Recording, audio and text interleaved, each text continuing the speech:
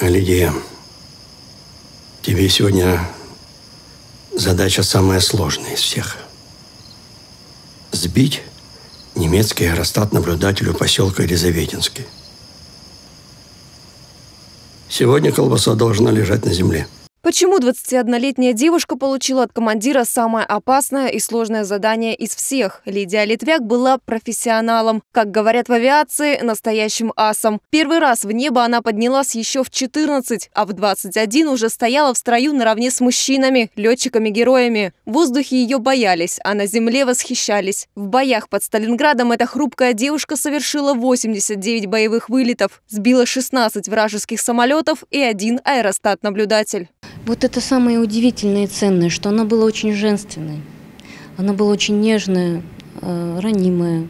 И когда немцы встречались с ней в небе, они не, вообще не могли предположить, что там женщина.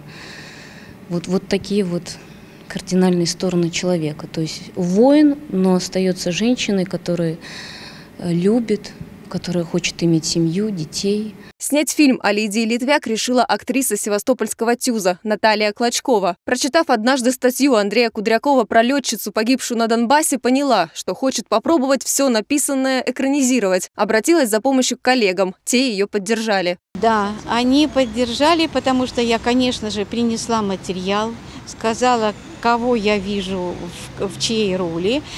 Они прочли, и я я очень им благодарна. Они заразились и не, не только выполняли то, что я им скажу, они приносили что-то свое. Актеры признаются, совмещать работу со съемками фильма было непросто. Локации приходилось искать рядом с Тюзом, а из-за небольшого бюджета спецэффекты в фильме создавали сами. Так, самолет Як-1, на котором совершала подвиги Лидия, был взят из VR-игры. Позже вместе с другим актером Владимиром Соловьевым они решили посадить в кабину и саму актрису. Меня это очень удивило, я подумал, почему бы не попытаться это использовать в фильме. А, мы вместе с Вовой созвонились, попытались все это записать, потом наложили на это какие-то эффекты и сделали такое подобие съемки того времени. Из двигателя повалил дым. Наверное, это конец.